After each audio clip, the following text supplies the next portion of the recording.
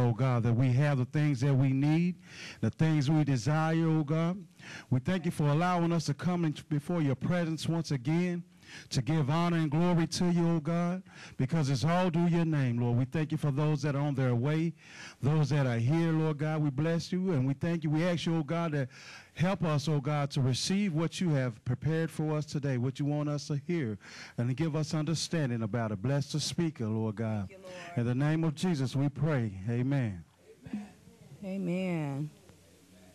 Amen. Amen. Amen. Amen. Amen. I'm glad to be here this morning. Glad to see you all uh, with your beautiful faces, smiling faces, and God is so good. Amen.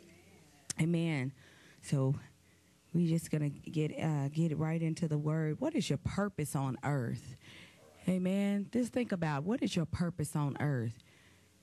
Sometimes it's a daily struggle when I think about the purpose on earth, but it's only a daily struggle whenever I'm thinking in the carnal. Amen. What is your purpose on earth? Is it to be a, a teacher? No. Is it to be a doctor? No. is it to be a lawyer? nope. Is it to be a singer? No. Is it to be a nurse? Maybe. Oh, no. Nope. Your purpose on earth was to be a minister for God. Your purpose on earth was to carry the word. Your purpose on earth was to give God glory. Your purpose on earth was to tell God, tell the people of God and the people that are not of God, the sinners and the saints of the goodness of God. You were born to minister for sure. God has already and al- already had it in uh, in his hand to prepare you and also to repair you for the goodness of God. Amen. He was uh, already, he already knew that you would be uh, needing to be repaired from the past in order to do so, in order to be the mouthpiece that he needs you to be, in order to walk out the purpose that he has called uh, called you for and, and caused in your life. Amen. You are the head, and never forget that you are the head. No one understands what God is doing unless you are connected to God. So when you're not connected to God or you're talking to the other people about what God has told you or what God is saying, usually they have a look on their face like, huh? What? What are you talking about? With no understanding, right? But that's why the Bible says, "Do not pa- pass your uh, cast your pearls among swine." Because you don't, whatever God is revealing to you, whatever He's giving you, it's not meant for everybody. Amen. They can't get it unless they are connected. Because usually the word that God is sending forth from the head always flows down. Amen. And we're all and we're and we're getting it as long as we're in our word, but it's a surprise to us if we are not. Amen.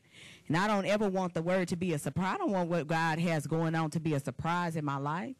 I don't want it to be a surprise whatever the word is that he has for me to give to somebody else. It shouldn't be a surprise. Amen because we should already be indwelling and encamping ourselves and letting him in, uh, encamp his angels around us and staying in his word and, and allowing him to be uh, minister to us and be our the God of our lives. Amen. Ministry means truth. Ministry means truth. It's not popular. It's not popular to tell the truth all the time, right? The power of God is so real. And when experiencing it, you should witness and pass it on as a blessing to others. Amen? Amen. So when you get the word of God, or God is giving you something, and you you have it, and you know that you possess this thing, and it's for uh, a particular time or a particular person. It could be a rhema word at the time, or it can just be the word just the word in itself is enough to pass on to the next person. Amen. The word in itself is living and breathing. Amen. It truly has life. It truly has life. And we know this because every time that you get into your word, it not only ministers to your spirit, but it's for the next person that you're going to come into contact with. It never, when it says it never returns void, that means that it always, whether I read it today, I read it tomorrow, or whether I read it next year, the word of God never changes. Amen. And the word is always uh, living and breathing. You can survive off of one sentence of the word of God for a long time. It's never exhausted. It's never to be, uh, it can never be exhausted. Amen. You know, you could say, somebody can say something to you and it just roll off your back. You like, okay. Or they say, you remember when I told you? And you like, no. You remember? Yeah, yeah, you do. No, I don't. I don't remember that. But one thing about the word is it can never, ever go away like that. Have you noticed that? That's because the word is living and breathing and it is a true organism. When I say it is powerful and should be used for God's glory. Amen. God will secretly confide in you. He will secretly confide in you only if he can trust you though. So you can sit and read the word verbatim. Those who exalt themselves will be humbled, and those who humble themselves will be exalted. Matthew 23 and 12. And it's true. Then you go on, Lord my God, I cried to you for help, and you restored my health. Psalms 30 and 2. However, it doesn't become light to you unless you allow God's light to shine to shine on you first you can read it and awesome, awesome. Okay, great. You're re- reading the word of God, but that, they say the enemy even knows the word. But when it becomes light to your life is when God gets the glory. When it can become, when it can come out of you and be light for someone else's uh, life is when God gets the glory. Amen. Not when you just hold on to it and you harbor it or you say, "Oh, I read, I read my word." Okay, so you read your word. Okay, but what did it do? Did it make a change? Did it cause a change in your life? Did it bring conviction? Were you were, were you able to give it to someone else so that they can live and they can breathe on it also? So the word of God is very, very important, and your purpose on earth, as we said, is not to be a doctor, not to be a, a, lawyer, not to be a mother, not to be this and that. The purpose is for you to be a witness with the word of God, carrying it night and day. Amen?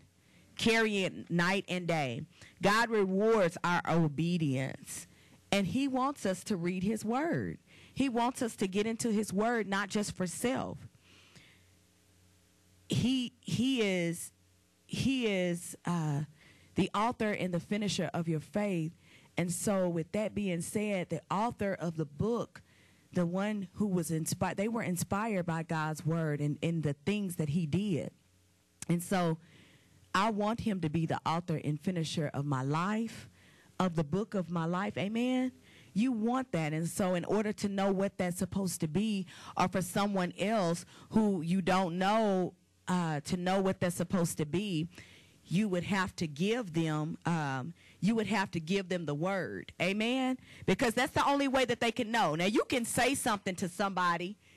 You can say something to somebody and uh, and it not be uh, of God or it is of God. However, when the Spirit of the Lord moves within you, in order, it is hot in here. It is hot in here please, the air condition. It, it, it, when the spirit of the Lord moves within you, then that is when that is when uh, it, it is going to penetrate. It's going to penetrate um, and saturate the atmosphere and whomever it is that you're speaking to. Amen. God shall have jurisdiction over you always. God shall have jurisdiction over you always. The book of life, the book of death, and the book of remembrance is what God has. Which one are you in? Are you in the book of life? Are you in the book of death? Are you in the book of remembrance? Where are you? Think about it. Where are you? Amen. No one can touch you because you are his without his permission.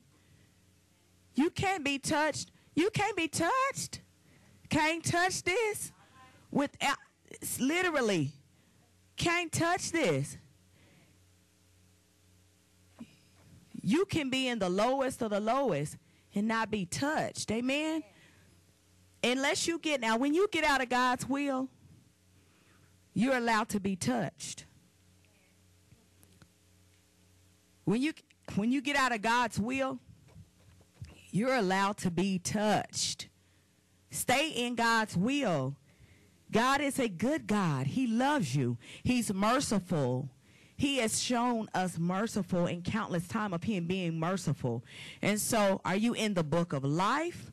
You in the book of death? Are you in the book of remembrance? Which one are you in? Hallelujah. I'm glad that nobody can touch me without his permission. Amen. Jeremiah 5 and 25 talks about uh, uh, our sins withhold our blessing. And so that's one of the things that we got to, when we're talking to other people, letting them know that being in sin will withhold all the blessings that God has for you. And we're not talking about just cars. We're not talking about just money. We're not talking about just houses. We're not talking about those things. We're talking about even the oil of joy. Hallelujah. Amen. We're talking about the love because you're not going to feel love when you're out of God's will. You're not supposed to feel the love. Now, the love is there, but when you step out of his will, you're not going to feel loved by God. And that's the enemy lying to you and telling you that he don't love you because you stepped out of his will. And so it's important that we tell others, unbelievers, stay within God's will. That way you can still reach, uh, uh, receive his blessing, it, receive the blessings. Amen. God is not surprised of your sins. he is not surprised of your sin. I don't know what it is. I guess the enemy. I won't say I don't know what it is, but it's the enemy that lies to us and tell he didn't think you was gonna do that. So because you did it, he really don't like you. Oh my gosh. Or, or the it, it, the enemy be like, you see, oh, you did that. You're a Christian. Well, I'm telling you, God is not surprised. He knows everything. He's not surprised at your sin. We think that we hide it. We think that we cover it up. We think that, oh God, he didn't know that I was going to go back. He didn't know I was going to turn back that way. Well, and then we, we get into, you know, hypocrite. Well, if he knew that I was, why would he put it in front of me? well why would you go there? Why would you put yourself in that position, getting out of the will of God, then allowing the enemy to be able to touch you? We don't ever want to do that, and we want to remind others, those that are not believers, the same thing. David said it best, amen, in Psalms 119 21. It's good that I'm afflicted that I might learn thy statutes. God has a certain statue, He has a certain way that He wants things, and He will get it by any means necessary. He will get it. He don't care whether you buckled over, you crying, you sad. He's not moved by emotion. Amen. He's moved by your faith walk though. He's moved by the walk, your walk in Christ. That's what he's moved by. So when we oh Lord, please have pity, man. He ain't got no pity on trash. He not thinking about that. Ain't what moves him. Amen. He's not. He's not with that. Sin is transgression. When I say it brings iniquity, it brings so much iniquity. I'm telling you, the higher the degree of sin, the higher the iniquity. The higher degree of sin, the higher the iniquity. And so we got to remember that. If I do this, because we be knowing, we be knowing beforehand. We be, we we hear him. We hear the word of the Lord. We hear God's voice before we do it. We can hear Him speaking. He even shows us who, what, when, where, and how. He show he'll show you. And then we still fall into the trap. And it's only because you wanted to be out of the will of God. It's not something, oh, it got me, it caught me. Oh, the devil. Oh, no. you allowed yourself to get out of the will of God. John 10 and 27. My sheep listen to my voice, and I know them, and they follow me.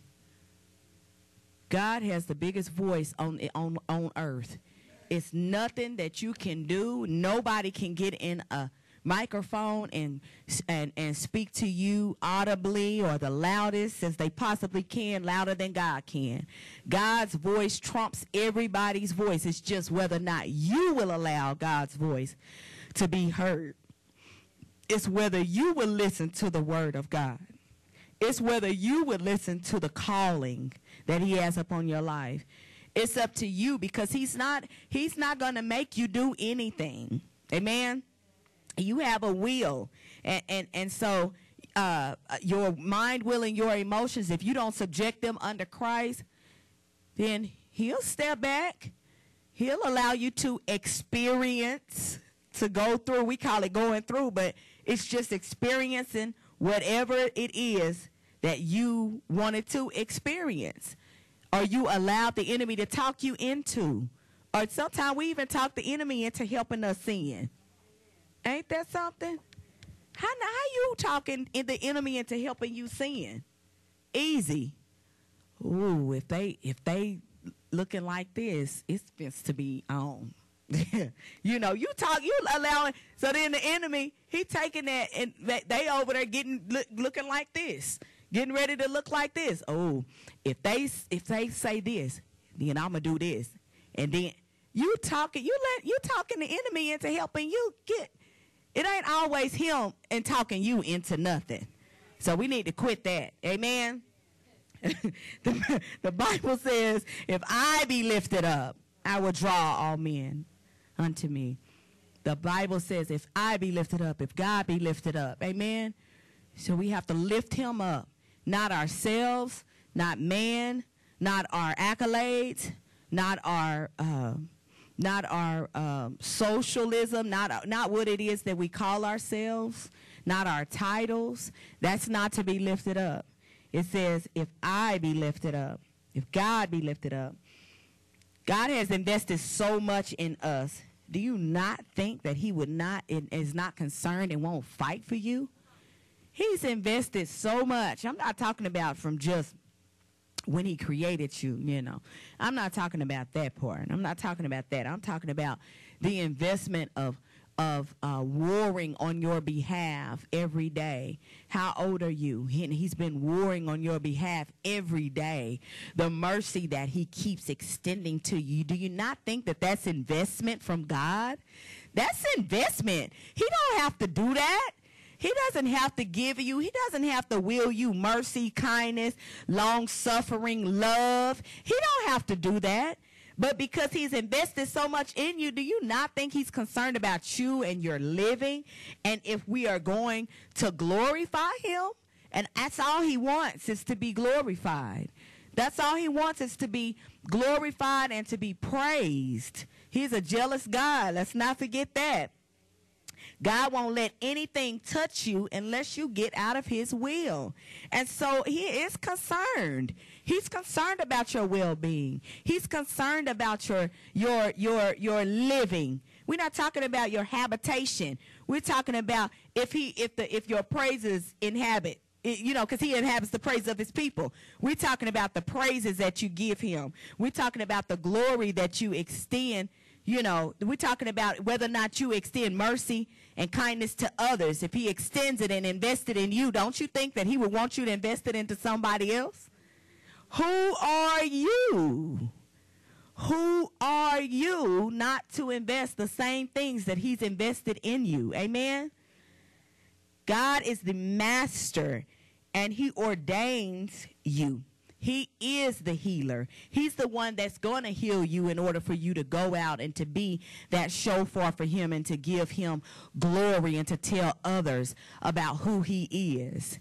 He is the master of your life. He is, whether you want him to be or not. You can be a sinner all you want to, but he's still the master of your life. You don't get to say, well, he's not the master of my life, so I uh, decide I'm going um, to hell. No, that ain't it works. you don't make your own. You still don't get to make your own choice, but you get to make your own choice. You hear what I'm saying? It's a catch 22. Yeah, you are caught in between a rock and a hard place, and that's how he would want it to be in order for you to follow him, in order for you to do his will. Will you be the watchman on the wall? Yes or no? Jeremiah had been in a moment of discouragement, and and uh, what God did was He anointed his mouth. But see, he was discouraged because he was being criticized and rejected because he was bringing forth the word. He was telling the people uh, what thus said the Lord, basically. But God brought him out of it by anointing his mouth. Amen. But for what? What why why do you think that he would anoint your mouth? He what he don't he's not anointing your mouth for you to spew ugly. He's not anointing anointing your mouth for you to cause havoc. There's life there's a life and power. Uh, there's life and death in the power of the tongue.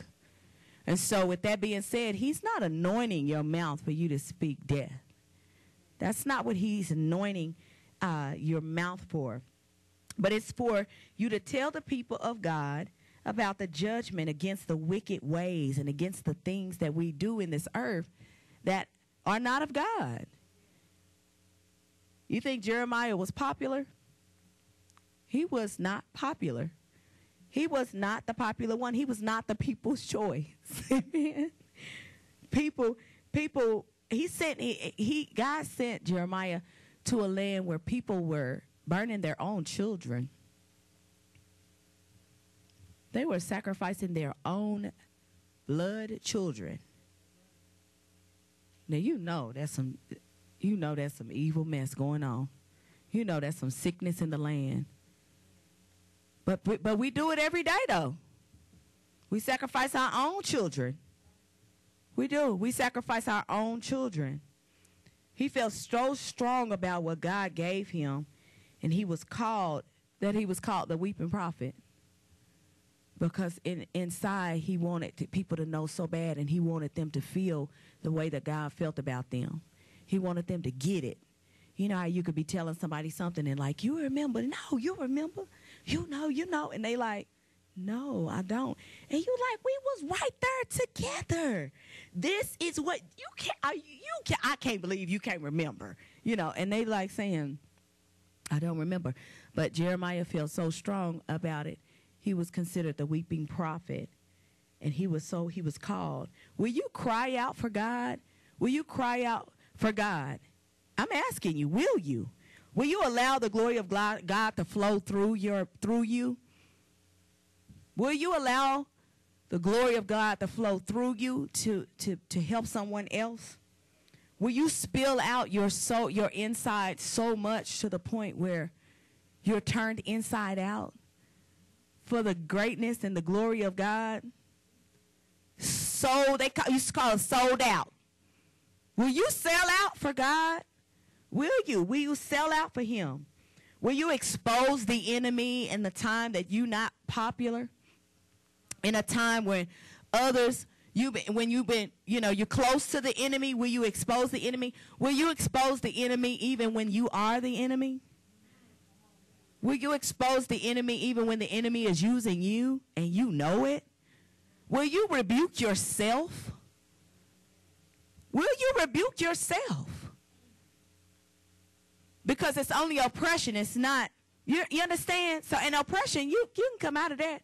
Because, see, the Spirit of God is down within you. So, when you rebuke yourself?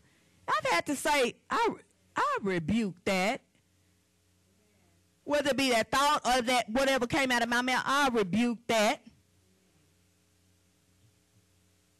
You've had to, you have had to, you have had to call that. You have to sometimes say that. I renounce that in the name of Jesus. I renounce that from my life. I renounce that thought. I renounce that thing. I renounce it. Will you be shunned for the truth? Will you allow others to shun you for the truth? You know, you don't want to be shunned when you think about it. I don't want nobody shunning me and putting me to disgrace and saying that I'm not this and I'm not that and ooh, oh no, I can't believe. But will you do it for the truth, for the body? Will you do it for Christ? God is so good, amen. Will you be beat on, spit on? Jesus wasn't the only one that got spit on and beat on.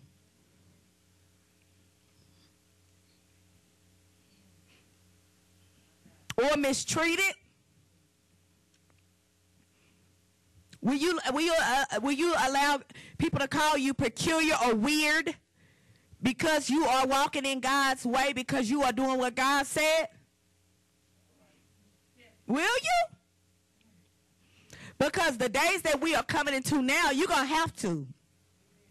You're not going to be able to pity pat a plate, uh, uh, pity pat and, and, and pokey whatever with anybody and, and act like anything. Because we are dealing with disembodied demons. Like Pastor said a couple weeks ago, we are dealing with that. And so to play the game with the spirits and with the demonic world and to play the game out there like, oh, okay, well, I'm going to keep you around. And what do you say? Keep them on a leash. Pat them and everything as long as they ain't up in an uproar. You like, okay, just cool. And now it's your pet.